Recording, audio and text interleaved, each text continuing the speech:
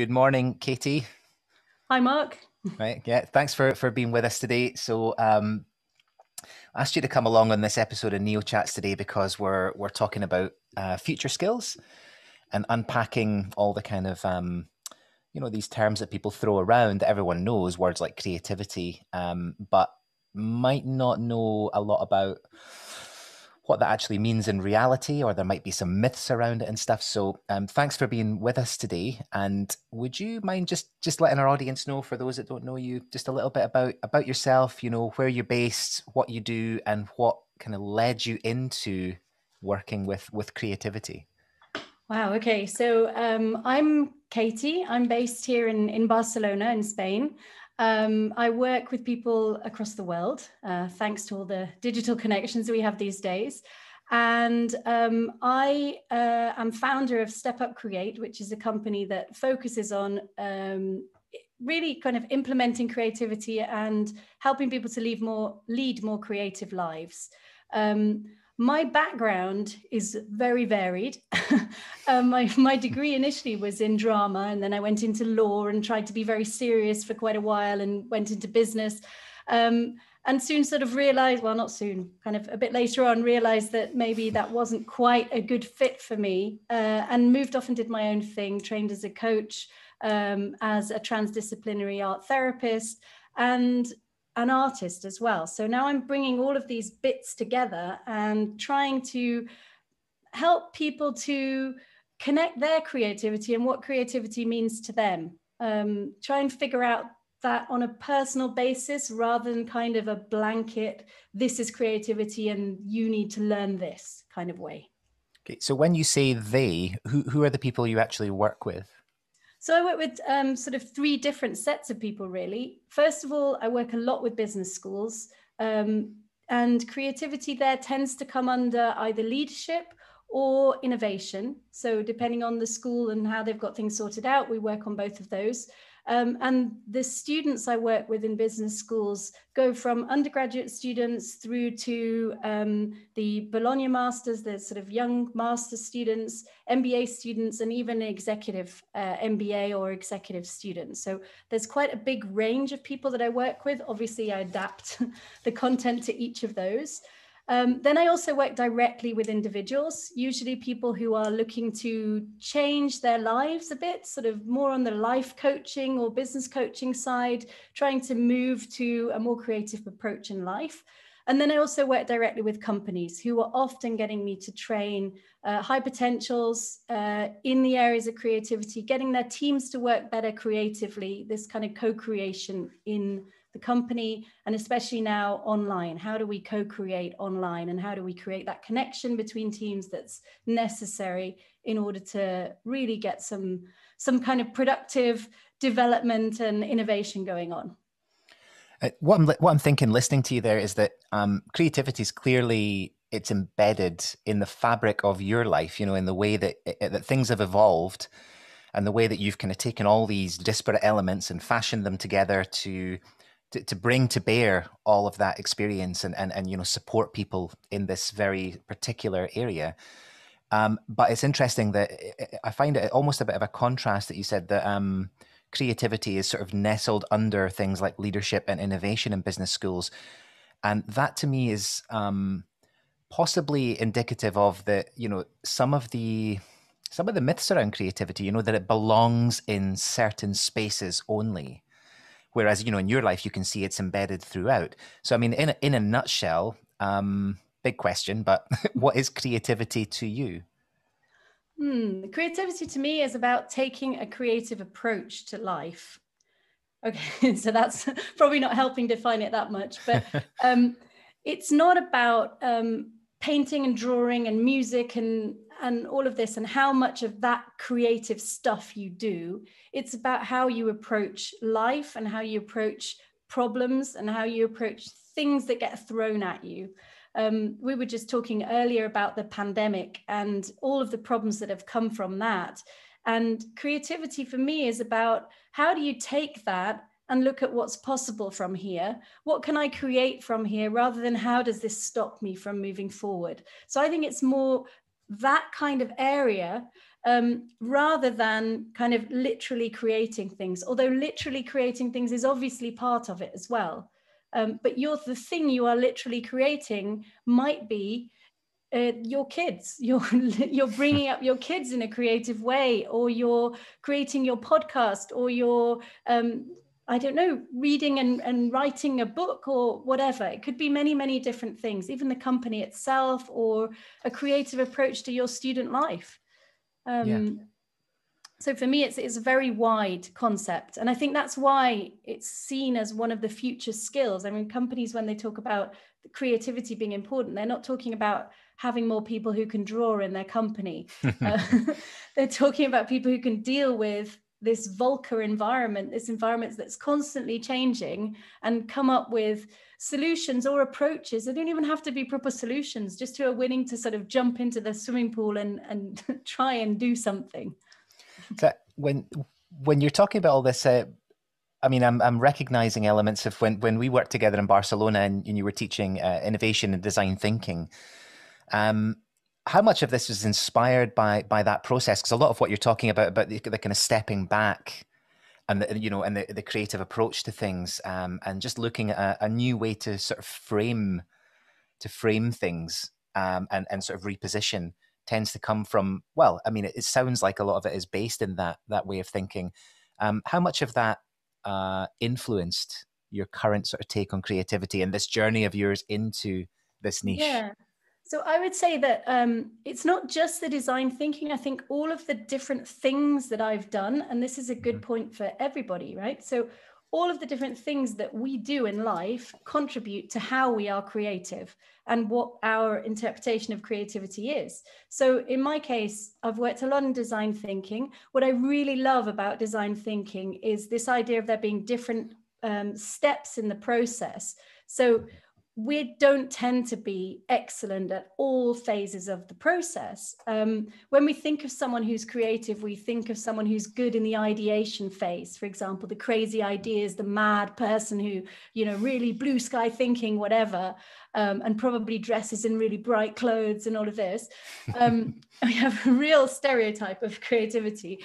Um, but there are uh, another four phases that um, also have different types of creativity associated. And your creativity might be associated with being able to get information from a lot of data. So, really kind of nail down what is the problem that needs to be solved here from all of this data. Now, that doesn't sound like a typically creative profile, and yet it's super important. We need those people, and we all need to have a little bit of that kind of creativity. If we're unable to filter large amounts of data, we, we're not going to get anywhere in today's world, right? We're not even going to be able to buy a car.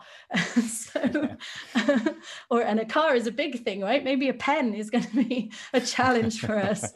Um, so I think one thing that's important from design thinking is the idea that there are different phases in the in the process, in any creative process. And this could be applying the double diamond approach that you get from di- design thinking, where you're opening up and getting lots of ideas and closing down and opening up again and closing down to get your final uh, solution. Or it could be even an artistic process. So i'm an artist. I do i paint. And when I'm painting, I go through different stages of a creative process where I'm playing and trying to see what comes up from the play. And then I'm focusing down and being discerning what am I keeping in? What do I want to paint over? And this kind of um, this, this sort of difference between play and focus, play and focus, I think, has a lot to do with creativity and my perception yeah. of it. So I'd say there's that. And there's also, um, so I have a, a, lot of coach training and therapy training, um, transdisciplinary art therapy. Now, obviously, I don't bring in art therapy exactly how it how we're taught it in art therapy into the classroom, into a business classroom. Um, but there are lots of ideas there about how to use um, actual kind of physical creativity, painting something, drawing something, creating some music, to then be able to translate into this idea of creativity in life, not just to sort of leave it there on the paper and go, oh, what a lovely painting, that's it. in art therapy we don't care about the painting yeah. we care about what the painting means and and what the communication is behind the painting um, so i think that there are lots of different bits of my background that i bring into my understanding of creativity um, and i hope that for everybody else that's that's also the case that we we have our own interpretation of creativity from what we've lived and um, yeah from how we've been able to make sense from things we've done in life mm-hmm. even if that is not inherently creative i mean I, I, remember when I was in Japan um, in 2011, I walked up Mount Fuji just because you could. That was one of the times you could do it, right? That's not inherently creative. And yet, that whole process of walking up a mountain and then, you know, getting halfway through and being, oh, this is so frustrating. I don't know what to do. But I, I've got to continue. Well, I've got to decide do I continue or do I go back down? And it's exactly the same as a creative process. So yeah. I think a lot of it is about sense making as well well that's, that's the role of you as a as a facilitator. Um you know that's that's an interesting part of it is sense making because you know right so there's clearly kind of you know there are myths out there about creativity. You know we talk about it as being uh, part of certain roles or you know uh, or, or you talked about the stereotype of creativity. You know there's a lot of that kind of thinking. It's very pervasive thinking around creativity. And so you know when you're when you're sort of working with this um in the classroom or in the boardroom or whatever, you're drawing on this broad arsenal, you know, um, of experiences, and you're picking things from your toolkit and adapting them to the situation. Like you're you're able to recognize that your art therapy might not, um, in its intact original form, serve this purpose, but you're able to to take elements and fashion them to to fit the context. Now, that that takes a lot of um, experiential development, doesn't it? I mean, and so it brings me to the idea of when you're actually working with people who have come through we could say conditioning but certainly the, the, the narrative around them is that creativity is x and and there's a lot of people telling themselves i am not creative mm. so how do you actually begin to support them to to look at their own experiences as resources yeah. you know what what is the process of helping somebody um, develop that sense of agency around creativity, which I guess would be the first thing. I mean, it's not like they're going to leave a session with you and say, "Right, I'm creative now." I mean, I'm, I'm sure you would never claim that. Um, but but how do you start them off on the journey to to help them at least see the tools that are at their disposal? Yeah, so I think the first thing is to yeah, like you say, it's not it's not something that can happen in one session. Um, whether that's a coaching session or whether that's a training session.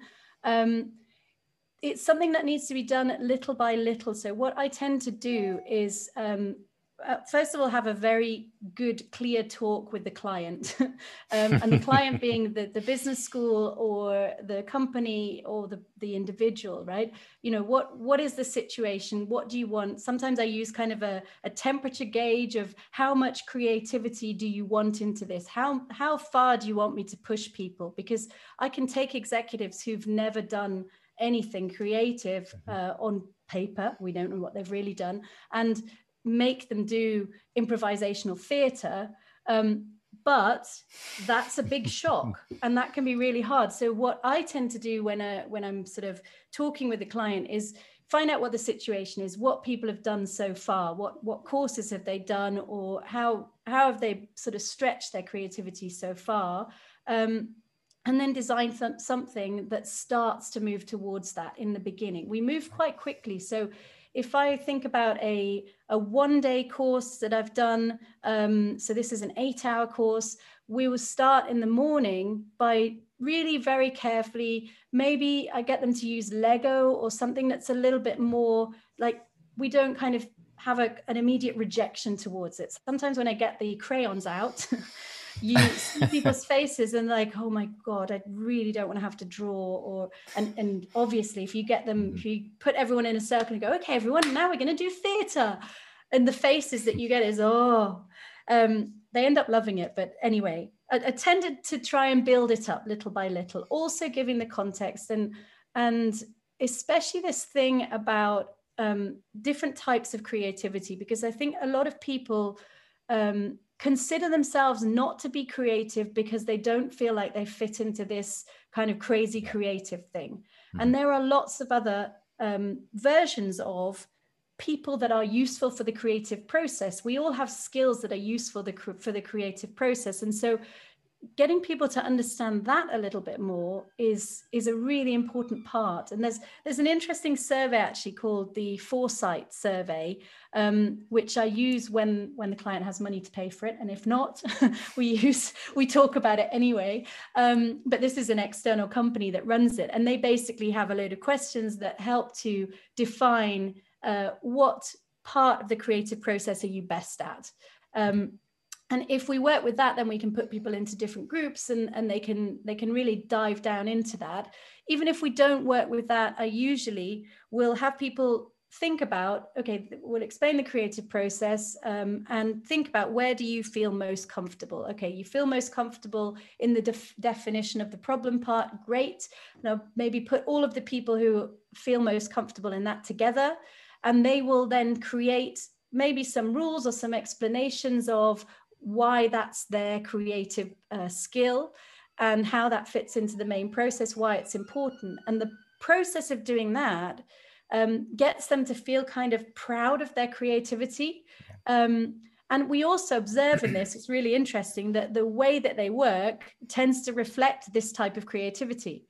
So you'll get people who are implementers, for example. These are the guys right at the end of the process, the kind of more typical, maybe business um, approach where, okay, we've got all the ideas, we've got everything done, now we're going to make it work. They will have the whole thing done, the task done within 10 minutes. Yeah. um, you'll have the, the people in the middle who are kind of getting all the ideas. They'll have loads of ideas and end up putting something together. The, the times that I've done this in a creative way, the actual image that they've created is kind of you know maybe circular or maybe 3d or something completely out there. Uh, you got the people who are working on the prototypes. They tend to be a sort of engineering type of um, uh, personality and they'll be very clear on exactly what they want to say and, and how it's moving forward. I don't know that it's it's just a kind of interesting way in the beginning to really establish look everyone's creative. So you're not even going to go into your teams in the creative process where I'll later mix up the teams, obviously, um, so that there's people from all different uh, types of creativity, let's say, in the teams. Um, so they're not going to go into that before they've kind of taken stock of this I am creative, this is my creativity. It doesn't matter that I'm not the super ideas person because I can get someone to do that. Um, yeah you know i can get i can i can build on that. I can identify who in my team is best at that. Um, i don't need to be the the one who covers the whole process. So that's yeah. a bit of a long answer no it's it's great. And i think i think it's it's super important. I mean the work you're doing it, it's it, in a way uh, you know i hope, I hope you understand what i mean here but it's kind of unfortunate that it's necessary but it definitely is because i mean you know there's there's people that have they've come through a system, as you said, that, that that's that's told them that creativity is one thing, and they've they've kind of written it off. And I've, my goodness, I mean, I, have worked in, in in the classroom. I've I've actually said the sentence, okay, I'd like us to imagine, and I've gotten that far, and I've had somebody say to me, oh I can't, I can't do that. I can't imagine. Well, you yeah. can't, you can't imagine. Like, no, you know, they, they write themselves off even at the ability to be to think hypothetically. you know, yeah, a and lot of it is what they tell mindset, themselves, isn't it? It's um, absolutely so much about yeah. that, and um, helping people to just get rid of those limiting beliefs just for the moment just i mean yeah. you know limiting beliefs they're really ingrained we can't get rid of them just like that but we can kind of tone them down and go okay in this space we're gonna we're gonna get rid of that. Actually talking about space one of the things that really inspires me about creativity and creating these spaces is that i think that just this space of trust that you create in this kind of environment is valuable on its own. Um, so for me if i'm able to create this this sense of trust in the students where they really feel supported and they feel like they can take risks and be a little bit more vulnerable I know that that is already a huge step for them. And this connects because when I was growing up, I um, I had a drama teacher who basically had 40 kids uh, who were probably you know from 11 to 16 in in the class And she completely defended that space. You were not allowed to laugh. You were not allowed to, I mean, laugh at other people. You're allowed to laugh at what's okay. going on. um, and it was, I just remember I was, I was kind of a kid that um, really you know didn't feel very confident about stuff i just lost my mum to mental illness so there was a lot of kind of bad stuff going on but i remember going into drama classes and just feeling like wow this is so nice to be in this space of trust and i think that we still need that um, as adults and as young people and so many people that i have in my classes that are doing masters degrees so they've they've gone through three or four years of bachelors and maybe some time at work and they're doing a master's degree. And they write to me afterwards, afterwards going, it was just amazing having that space and that trust that we created in the group. And this could be when I'm teaching storytelling or mm-hmm. um, when I'm teaching leadership. It, it doesn't really matter what what's being taught. It's more about creating that space that allows for creativity as well. Yeah, and, and creativity and diversity of creativity, I suppose, because that's the thing, isn't it? Is that um, what you're doing is exploring um, the, the strength of diversity you know in teams which of course I mean, you mentioned you know things like the sort of Belbin roles or whatever the, the implementers and things like that but yeah. they were very much you know i'm not really sure about those things because it does very much um, help people to understand themselves as as i am this thing and not you know i'm fluid i have fluid experiences um, that are not finished yet and i can still change and develop and all of that stuff is really important to, to kind of understand but um, what what you're working with a lot it seems is you know there's a lot of um, creating trust and creating a safe space and getting past you know the self-limiting beliefs which is really of course not easy. And what you were mentioning earlier about um, through play um, through iteration through experiential learner directed um, engagement you know to, to to see what what what's inside you and to have the space and be supported to reflect on it. Now obviously that that's clearly missing from the earlier stages of education which is why we're in the situation where we have people with self-limiting beliefs and all of that. But as i see here we are. Um, mm. so i wonder um, given the status quo and that things are not going to change overnight what do you think um, what do you think sort of higher education so in two parts higher education and um, companies can do to support the development of creativity you know, in their within their walls you know rather than saying you know creativity is in these subjects or creativity is in these task types. Mm. you know what what can they do to say well look we these are the people we've got in our charge and care right now. Um you know how can we support this? Yeah for me i mean the number one thing is is this admitting mistakes, allowing people to make mistakes. So there are some companies that have a culture, and this and this could be schools as well, right? So mm-hmm. that there's a culture of right and wrong, and wrong is bad, and also that um, that you can't create something um, and then have that thing fail. So, for example, in my classes, what I try and do, and this is always really difficult because we've got to give a grade, right? In the in the business school classes, is I try and make sure that most of the class that there's a participation grade, but it's not graded. For example, if teaching storytelling, I don't grade them on their stories until the final day because I want them to be able to make mistakes um, and to not feel like oh, I've got to really, you know, hit myself over the back for, for making a mistake because this is not just an external thing, it's also internal. We also have this kind of internalized of no, it has to be perfect, it has to go well in my recent course on storytelling, there was a girl who completely forgot what she was saying um, on day two. And she was te- addressing the whole class, telling the story. She'd done really well. She'd prepared it, everything perfect. She just completely blanked.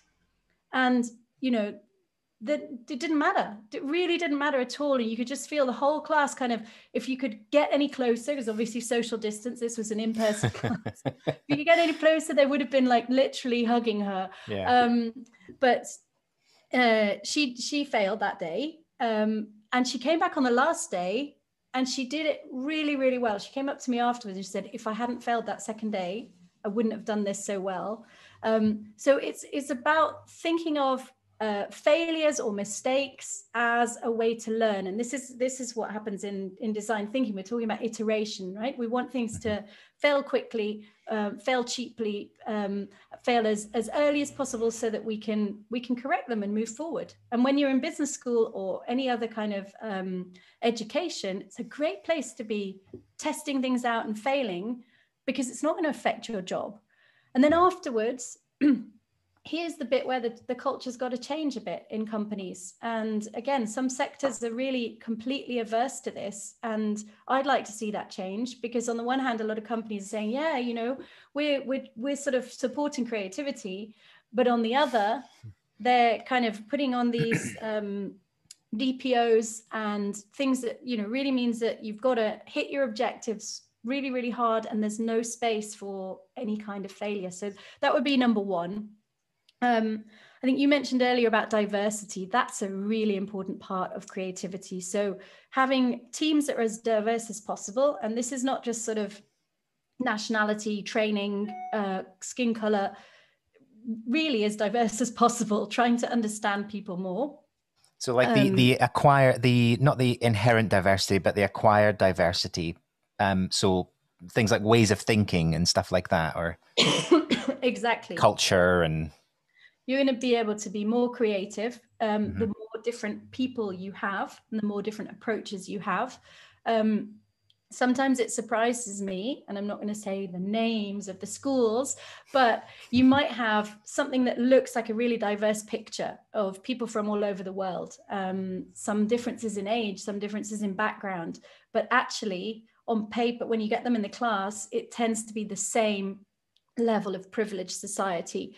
Um, from different countries and that doesn't help creativity. No. so also allowing you know having some kind of things that allow students from poorer backgrounds or from different backgrounds to join in and be part of the conversation in these top business schools uh, would be really really important for creativity. And the other is obviously in in terms of business schools allowing the time. Um, creativity isn't like finance. There isn't a right or wrong. We need to have um, a, a, block of at least two hours, maybe even four, um, to be able to teach this. And that's even with a flipped classroom. So even if you've got all of the theory online, you've got video lectures, you've got you're really making the most of this blended learning. Um, you've got to have around at least two hours because I need to be able to, we need to sort of start the mindset, get people feeling comfortable, create the trust, decentralize, um, which is where we sort of go off and do something else, and then come back and take the meaning from that. And obviously, the meaning part is important, but if we skip straight to that without going through the experience, there isn't a change that's a sort of sustainable change.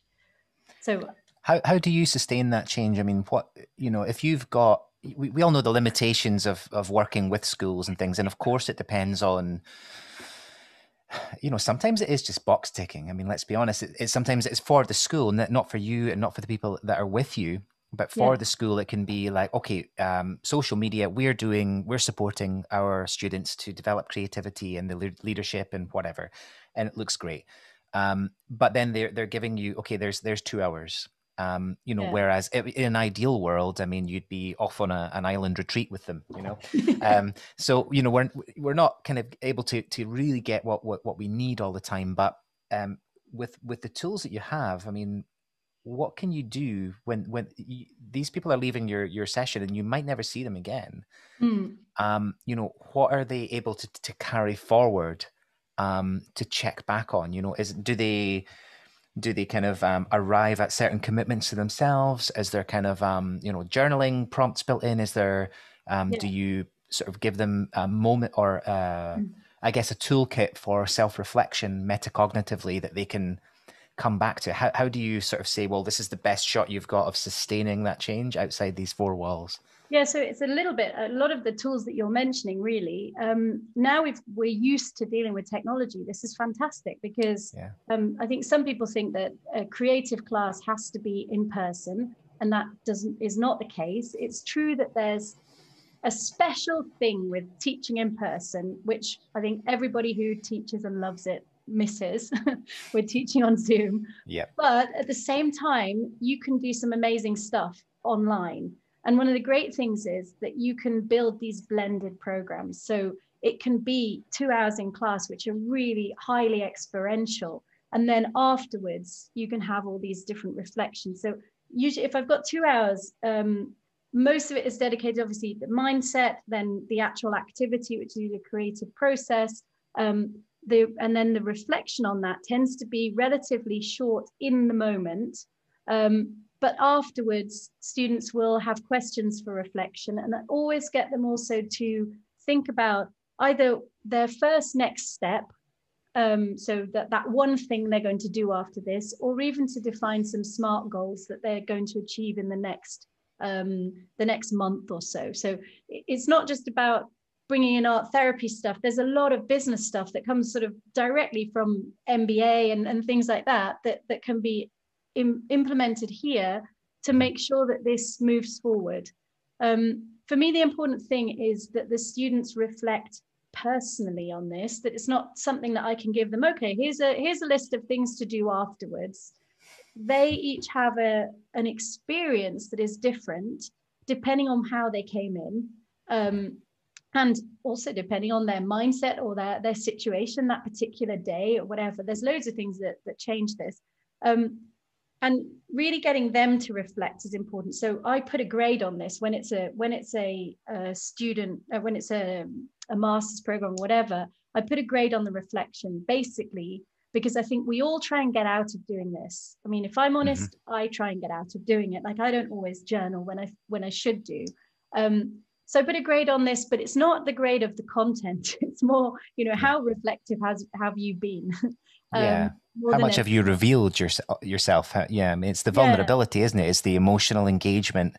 Um, it's hard to do that in a business school environment because they're so sort of cerebral sometimes, and and you know, a lot of the classes are about knowledge-rich uh, yeah. environments. You know, where the knowledge is prized uh, yeah. and not the, the the sort of the engagement or the self-awareness um, it, it's very difficult to to get that from people or to support them to sort of see, well, look, this is this is not about the grade, but this is something that's going to be so good for you if you could dig yeah. a little bit deeper.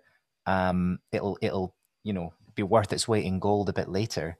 I tell you what, it's really difficult to grade. It's it's yeah, a nightmare yeah. because I, I want to make sure that each individual is graded on how, you know, how they came in and how they're leaving, rather than you know giving uh, extra points to someone who's done some kind of retreat or whatever who is a little bit more self-aware because you know what? I'm most interested in working with people who are who believe they are not creative. Yeah. it would be easier to work with the people who are super creative and the artists and all of that and it's really fun to have them in the class. Um, but I'm most interested where I can really make a difference. And I think that's with people who come in and they've got all these resistances. They're like, you know what, this, you know what, I signed up for this because it was the only thing that would fit in uh, with my study tour or whatever else I'm doing. And, you know, I get them to say this in yeah. the beginning because I'd rather it just be clear. Yeah. Um, and then over the the time, they kind of make a little shift. And those little shifts from the outside, I might think, okay, well, they've just They've just literally made a tiny shift and admitted that at that point they felt like they were really creative and contributing to the team. But for them, that's huge, right? So yeah. it's it's really difficult to look at it from the outside. Um, and it's kind of a skill that I think that's where my art therapy comes in. That it's you know really taking this phenomenological approach and and trying to look at what's going on um, in its entirety rather than judging people or thinking okay well this person is going to be more difficult. And i don't know. Yeah. this is uh, this is something about this trying to make a change in a very short period of time. But i think we are all capable of that. It's like planting a seed you know that film mm-hmm. inception. It's like, yeah. like planting a seed that you know maybe i am creative even though i thought think and thought i'm not. Maybe i could be creative and just if i'm able to plant that seed i think that can that can come into flourishing later on. Yeah um yeah absolutely. And it's it's interesting because it's like your um your class is kind of something apart from the rest of the school. Um it's like a it is a space where it's not very helpful for say uh, another professor to say here's all the things i think about these students so you know you've got this guy and that person in your class and all that because you know based on a very different space you know and you're ta- you're meeting people where they are. Um, and the interesting thing is i love that as well that people have absolutely no uh, idea of what's going to happen.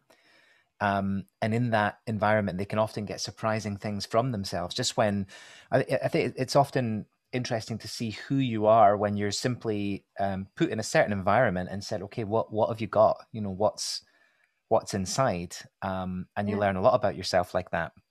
You know, and once you know that you can do it, it's incredibly empowering as well. So sometimes it can just be the strength of the experience. I just actually making me remember. Um, I don't know if you remember this, but when we worked together in ESADE um, and uh, we taught social leadership together, and we were welcoming the students. I think there was the new cohort. There was a couple of hundred people in this lecture theatre, and you leaned across to me and said, um, "What are you going to talk to them about?" And I said, "What?" I didn't know, and I had missed the email that said I was going to have to talk to them, um, and I hadn't prepared anything at all. And everyone had these really well prepared things. Um, and I had to simply stand up and and tell a story and a few off color jokes and and, and basically wing it and it was really enjoyable but you know unless you're put in the situation you'll never actually know that that you can do those kinds of things so it's yeah, it's I mean, creating opportunities isn't it also thinking about the future for for these students they're going to be in those situations all the time yeah. at work and like they're going to be doing presentations in five minutes or you know mm-hmm. meeting a client because the other their boss isn't there or all of these things we we tend to sort of try and avoid putting ourselves into these situations where we don't feel comfortable um, or convince ourselves now I'm, I'm, thinking of this while, uh, while i'm saying it or convince ourselves that we're putting ourselves in an uncomfortable situation when really it's not that uncomfortable. So what could we do yeah. to push ourselves a bit more? Um, and this is interesting actually. It connects to when, I, when i'm thinking about it now it connects to the importance of traveling right? And being able to kind Definitely. of just travel on your own. And uh, you know obviously right now it's a little bit difficult but um, i've traveled the world on my own i know you've done a lot of traveling as well um, because i was i was lucky enough at times to have a job that sent me to some interesting places and i managed to get the weekend or a week and go and do some stuff but just just being in a situation that you are not in control of that you are not particularly comfortable with and trying to find a way out or or a way to enjoy it more um, is a way of of sort of developing creativity. So yeah. I think there's there's a, a lot about creativity which we think needs to be taught in the classroom when actually it it is explored outside the classroom. And what I've been working on a little bit more recently is this idea of sense making. Like mm-hmm. we live a lot of stories, we live a lot of things. And that goes the same for if you're 40 uh, as, as if you're 20 you know you've lived loads of different things. Some students say to me in storytelling oh do you think i don't have so many stories because i'm younger? Like, no i think you've got loads of stories. Yeah. and even if you've never left your country you've got loads of stories. Um, but the thing that we tend to fail to do and I, again i include myself in this is to stop and make sense of what we've lived.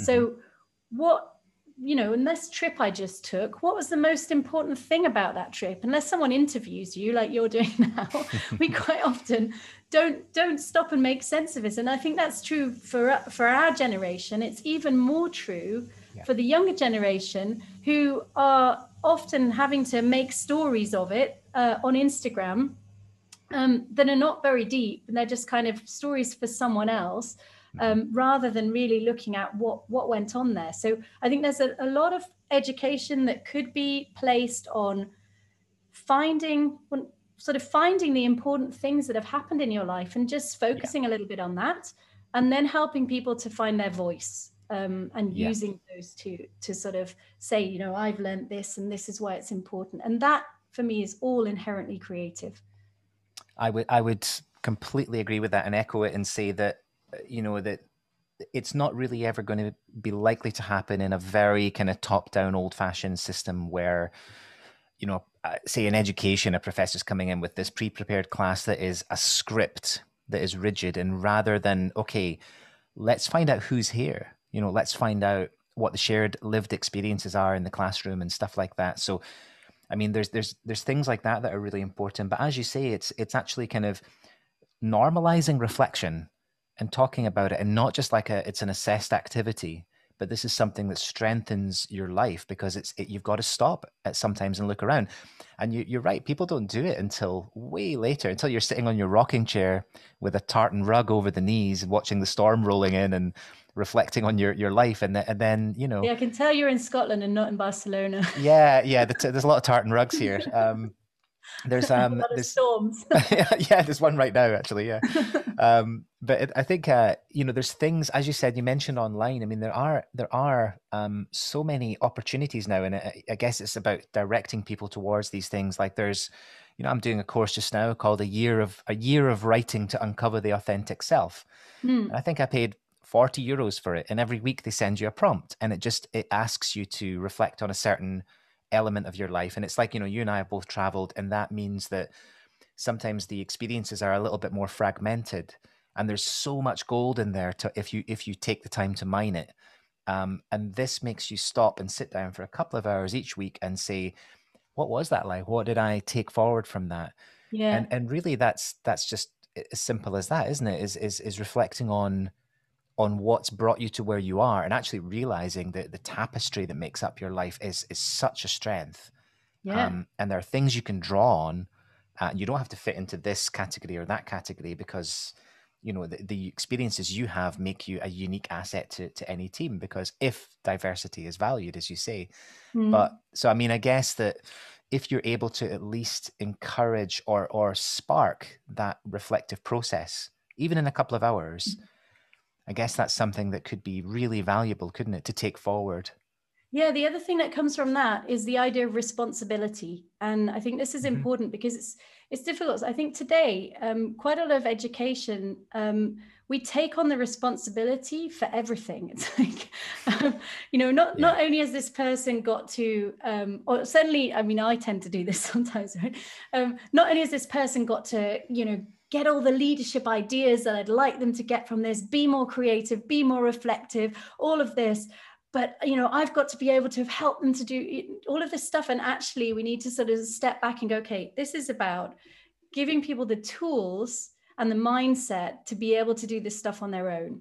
Um, and I think that's the case whether they're the age of my son, who's four, uh, or whether they're like 24, um, and everything that's in between, and, and even going forward. It's it's about um, there's an element about helping people to be responsible for their own lives and their own creativity, their own education, and that means that there there has to be, you know, a really high level from the schools.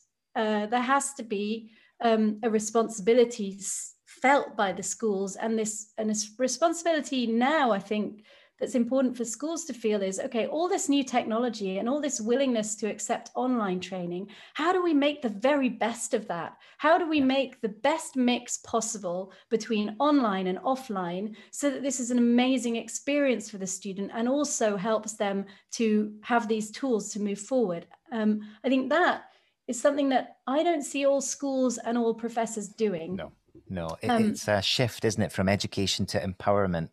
Mm in in a way but that it's a it's a very different it's a very different mindset i mean you mentioned earlier on the kind of the VUCA world you know that this volatile uncertain world that we're going into and in that world a focus on on what you know rather than who you are is is not going to serve us i mean if we can support people as you say to be the best versions of themselves and take responsibility for themselves mm. um, that that's got to be enough. The problem with that is, and not not a problem. I don't see it as a problem, but for institutions, is measurements, outcomes for something that you can't ultimately control or even see that will manifest itself in somebody's life some point later down the line. So how yeah. do I report that? How do I put it in an Excel? Well, this is a classic you know? thing with leadership, isn't it? And leadership yeah. and creativity and things like that. Um, what if I think back to when I was studying my MBA? I fell into this as well, thinking, oh, what you know, all this leadership stuff. You know, why why are we spending so much time on this?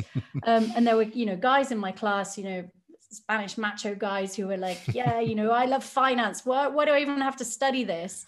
And then, you know, now we're 10 years later than when I graduated from my MBA. And I know that if I ask them, what is the course that had the lasting impact on you, the most sort of impact of the whole MBA, they will say leadership. It's the case for me. And it was the case for the last, then a few years ago, I spoke to them about it. And it was the case then. It's like, yeah, you know, I thought it was, you know, really easy and kind of a bit light at the time, nothing serious, nothing applied. But then later on you think that this sort of little things are coming in oh yeah you know i remember this and, and i remember going through that experience of discovering a little bit about who i am and yeah. feeling okay with it and also knowing i think you mentioned earlier this idea of being fluid right this mm-hmm. there's there's something here that's interesting about identity and and we all have a, a fluid identity really and yeah. yet we are generally forced into this idea of personal brand and what are my key um, selling points and all of this they kind of work against each other. And so it's it's all about trying to find a medium between you know what's expected of us where we need to get to in life and in work and whatever. And then on the other side being okay with this yeah you know what? I'm okay with me and i'm okay with my experiences and i've learned all mm-hmm. this stuff from it. So i don't know there's there's a lot of things here which i'm not sure how much of it is should be on the schools. Um, yeah. and how much of it is on the individual and i think that the the part that the schools can do is to just kind of start that process to kick it off to to make people think okay first of yeah. all i i can be creative um i'm not just sort of a non-creative person because i like maths you know there are some super creative mathematicians yeah. for example of course but, yeah um so just sort of kicking off that idea and then and then letting them letting them go and do their own thing. But at the same time mm-hmm. obviously taking seriously this wonderful opportunity we have now to to be creative online and to to use all these tools. I, I love technology so i'm like yeah. I love technology and i love in person. So having that mix is just like creating a richer world. Yeah. Um, and also i think being able to meet students where they are um, both in terms of where they are um, personally and also where they are digitally like if they're more comfortable online. So I'm teaching storytelling again. There are students who feel much more comfortable talking to a video camera than in person. We work on both of those um, mm-hmm. because they're both important now.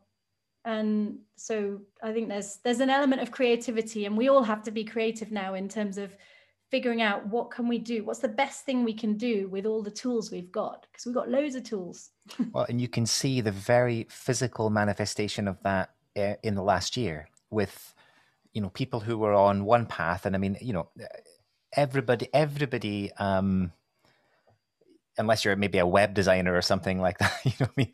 Most of us uh, the, all the things we were doing just kind of suddenly um, fragmented and disappeared. And and and you can see the the difference in the way that people reacted. And some people you know were just like okay i i don't know what else to do. And there were other people who who almost didn't pause and just kind of you know took a moment gathered themselves and and pivoted and did something else. And and we can see that um how helpful it is in life in in in the world of uncertainty. And you know this is not our last rodeo. I mean there's other stuff around the corner for sure. Yeah. um and so what you're talking about to me it, it it sounds to me like it's a case of schools almost letting go of the need to control things that are within you know mm. the limits of uh, the time that the learner spends with them and say, look, instead, we're going to focus on creating space for you to figure out who you are and what you bring to the table and to support you in that reflection and to support you in developing the things that, you know, how you want to show up in the world. And yeah. embracing it as a strength that we are not going to measure this because the impact is going to be in your life. Um, you know, and, and that has to be enough. And, and I know that's idealistic. Um, but I, think I, I do see, I mean, obviously I work in education. I do see that's the way the narrative is moving, has been mm-hmm. accelerated by the last year, the digital fluidity as well. And you know, people are beginning to let go of, of the kind of need to control because it's exhausting. Um, yeah, well, there's, I think there's traditionally been this idea that the schools have all the knowledge, right? And then yeah. we can we can give the knowledge to people who pay or are enrolled and that's kind of a scarce resource so there's something around scarcity here which is not particularly helpful and I guess one the only thing that that stopped me from buying 100% into your idea is that I think that it's all very well for leadership and creativity and soft skills. Um, for harder skills, I find it more difficult to figure out how to do this because when I'm, you know, I studied finance. I actually quite enjoyed the financial planning because that was super creative. But anyway, we'll get to that another time. Um, but there is right and wrong, and there are things that need to be done, hoops that need to be jumped through in mm-hmm. that. Um, and obviously, there are lots of other ideas. I'm sure some people listening will be thinking, well, you know, I teach history how am i going to teach that in a more creative yeah. way um, and i think that there is there's a there's a medium isn't there? there there has to be a way that students can get the information the knowledge part um, and also be able to work with and reflect on that and i would say that yeah. that here's where the responsibility is important and this is really difficult trying to get the students to be more responsible for their own learning um, while also leading by example and making sure that the schools are being very responsible for how they are delivering that learning. Some things are better delivered on a video lecture that's been carefully rehearsed and is all there and it's got some nice questions alongside it and you know it's really well done. And some things are better uh, better given in in person. Um, yeah. Really thinking carefully about those things, but knowing that there will be an element of you know some knowledge that needs to be imparted, mm-hmm. but that the most important part of it is how that other person takes that knowledge and makes it their own. Um, and yeah. if we're unable to train people in that part, in that sense making part, there's no point. We're just memorizing stuff and it's not really very helpful. I think that's what's happened yeah. in the past. And that's been some of the problems that we've had in, in adapting to some of these solutions that we traditionally haven't been trained uh, to yeah understand properly the knowledge. Well it's it's a broadening of the concept of what knowledge is in in a, in a sense because um, a knowledge rich environment if you if you take take your point about history for example um, there is the memorization of historical facts which is what i certainly experienced uh, in in school which is of absolutely no use. Um, but the understanding of historical thinking is far more fluid and as I able I'm able to you know to apply that later on. And even things like finance where you know absolutely there are hard skills. I mean I want to know that um, my surgeon has gone mm-hmm. through a pretty rigorous regimented structured training you know?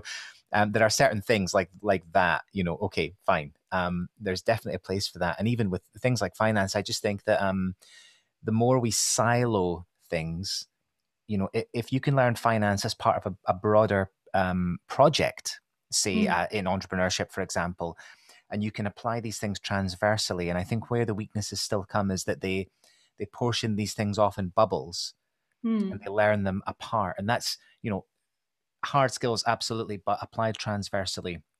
Mm. So that we can actually draw on and we can see these things as part of like, okay, I can draw on this element and draw on that element. It might not be my strength, but I understand how it fits into the big picture. And you know, if I get to a point where I need it, I can hire somebody who's, you know, amazing at that. Mm. Um, but just to experience all those things without the risk of telling ourselves the stories that we tell ourselves about i'm not a maths person i'm not an x i'm not x i'm not y um, yeah. you know if we can de-silo these things that that's that's an interesting step but um, can i just ask you just one thing to to, to close off because there's there's people listening to this saying definitely people out there saying, you know, I'm not a creative person. Um, there are people who would not voluntarily sign up for a workshop in creativity, um, you know, unless it was maybe mandatory, which seems kind of strange in a company to do that. Um, but to those people who are out there who who may never sign up for these kinds of things, um, what would you say to them about about creativity, about the stories we tell ourselves, or about a way to kind of um, questions to ask themselves about um, you know to to to probe that that self concept a little bit. Maybe just test that a little bit and say is is that story i'm telling myself is that the case? Yeah i mean i think that there's there's just a question isn't there that you could just ask yourself. If you if you are able to stop and take a moment of consciousness um, and just before you're going to do something and just ask yourself is that the creative approach um, or is it a reactive approach so am i doing this in a way that is kind of moving something forward or am I kind of just reacting to something that's happened and I'm doing it kind of almost without thinking about it? I think even that can help. And I'd certainly say you don't need to do a creativity workshop um, in order to get more creative. In fact, that in order for it to be more sustainable, even if you're doing just sort of one thing that you like doing that's creative, I think most people have something that they enjoy doing that's creative. Um, again, it's it's probably not drawing or painting. Um, it might be going for a walk. Um, it's often associated with moments where you feel good about yourself or good about what you're doing, and just identifying those um, and doing them consciously, maybe not even every day, but identifying something you love doing. Give you a non creative example from me. I love swimming. I've always loved swimming. I used to get butterflies in my stomach when my parents would take me to the swimming pool, and we used to go four times a week. So, um, and just incorporating that into my life, it's it's sort of an hour or half an hour a day. Um, just it makes me feel a lot better. It makes me feel more creative or more open to creativity. So sometimes it's not about necessarily finding the creative thing. It's just finding something you love doing and doing it. Making yeah. time for that, giving yourself that space because we are so busy. Um, and this is true of everybody, whether we've got kids, whether you've got a full time job, whether you, whatever your situation is, we're so busy that we often forget about the things that we love doing and just making a small list of them and then doing them. Mm-hmm. um, as if it's a task you know I've, I have this list of things that i do you know what are my three things that i want to do today all of this. I don't put my creative task on there but i know that i need to have either creative task or swimming every day otherwise i'm just not quite as good as i'd like to be. So I think those are the the thing I would say. Um, and if creativity scares you off, don't call it creativity. call it something else. um, yeah. It's it's a really wide concept, but um, it's certainly not just about post-it notes and being crazy and coming up with lots of ideas. yeah, and I, I, think that's it's a really valuable lesson. Um, you know, it's it's it's important information that will make a meaningful difference to people's lives because what we're what we're unfortunately talking about in a lot of these cases is unlearning, hmm. um, you know, which is incredibly healthy um, thing to do at any stage in life. You know, so with that in mind, I would say that you know that what you're doing. I'm glad to know that people like you are out there doing this kind of stuff. Uh, as well because it's an important message and you know even if it's just you know talking to people having conversations normalizing certain things broadening the concept of what creativity is um, challenging limit self-limiting beliefs um, whatever way that shows up. Yeah. It's like yeah. just having a laugh can be a creative approach. So sometimes we take ourselves so seriously. It's, you know, I've seen a lot of students like this who are really, really focused on their masters or whatever they're doing. They want to get, they want to get through it, get the highest grades. Unfortunately, that's what what they need in order to get the top jobs. And they they're kind of not having fun with it, which is quite different from when I went to university when we used to go out and probably spend more time in the bars than in the lecture theatre. But um, you're nodding there, Mark. Just just want to make sure that that's there for the podcast. Mark is nodding and agreeing. I'm just supporting you, Katie. That's all. Yeah. Just... um, but yeah, there, there's this idea that we have to be serious all the time, and, and I think that um, that also needs to be broken down. That that yeah. you can you can be a serious business person, serious professional and have fun and play sometimes. And sometimes yeah. that play is what you need just to open up the creativity as well. So whatever that is for you, that that's fine. Yeah, and it's liberating as yeah. well. You know, I mean, I'll never forget um, working with um, very serious executives uh, on a telephone role play and deciding that um, I was going to um, have them use bananas instead of handsets or just their hands. Um, yeah and just the look on their faces as I presented them, and I'd written the numbers onto the bananas and everything. You know, um, wow. within within seconds they were into it. You know, they were yeah. laughing and passing the bananas around, and it's for you. And this you know, what happens when I when I do stuff with Lego. Um, mm-hmm. It's amazing because it connects people with how they were when they were kids, and Absolutely. quite a lot of yeah. very serious executives or come across as serious i don't know if they're really that serious in real life um, mm-hmm. we'll start kind of just building stuff and playing with it and you can just see this sort of armor coming down. Yeah. And I remember one course that I did, it was a two day uh, team building workshop around creativity. Um, so, this is another thing that quite often people ask us to do it as a team building or leadership or whatever. So, there's actually some sort of content, but then it's a creative process that goes through it. So, um, people kind of kind of don't necessarily expect that they're going to be painting and drawing and doing theatre in the beginning. Um, but I remember getting the stuff out, and we'd got these big boxes full of material, and there were there were wire meshes, and there was paint, and just loads of stuff. Um, and these executives changed from you know suited and booted to little boys and girls who were playing with these new toys that they'd been given it was so beautiful to see and then they then they picked it up and they got it you know they did everything. They used all of the skills and all of the the life experience to date to get everything together. Um, but they were able to play. And sometimes you need something that just helps you to to remi- remember that that child inside you that that likes to have fun yeah. even though you've still got all of the responsibility um, that you carry every day. Yeah. So i mean so to the people that are listening that there um, i'm sure they're getting a lot out of this, and hopefully people are going to now um, go out and do something fun or do something they enjoy, just to make, as you say, make that space for to feel better. Um, yeah, and I think it's it's really important this year, especially because mm-hmm. um, we've been locked down. It, depending on where you are in the world, the lockdowns have been, you know, quite brutal, and they might have been with kids, without kids, with your mum, with you know, people that you don't want to be stuck with necessarily twenty four hours a day, and it can be really hard. I certainly went through moments of the um, of the first lockdown here where I just found it really, really hard. I suddenly became a like 1950s mum, and I'd never bought into that. And I think um, being able to find something within you. Uh, you're not relying on there being an amazing bar down the street or um, you know being able to go and see your friends you're relying on stuff within you um, and that's an amazing feeling to have that inside you, to be able to make yourself feel better by doing something that's within your power. Um, so I think that's, if I had to kind of advertise creativity, I think it just makes you feel better.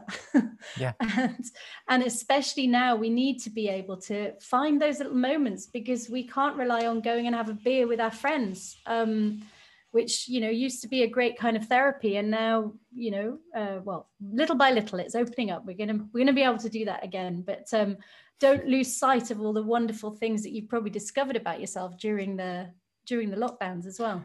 Absolutely. Yeah absolutely. That's the danger is that you kind of um, click back into routine which of course is the uh, for me is the thing that enslaves creativity. I mean i've always i've always used the word our, our birthright with creativity you know, mm. I do feel that way about it. I do feel it's it's a way that it's something that makes you feel alive and connected, what, whatever way it manifests itself. So, um, and on that note, hopefully, um, be able to have a beer with you soon in Barcelona.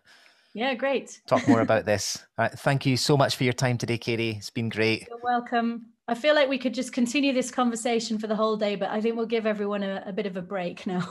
yeah, I know. That's the only reason I'm finishing it is because we're, we're we're trying to encourage people to go out and do something. So we better make the time for them to do it. So otherwise, we could talk for another Listening hour. Listening to us, do something good. Yeah, yeah, yeah. Stop, stop here. Right. okay. Thanks a lot, Katie. Take Thanks. care. Bye.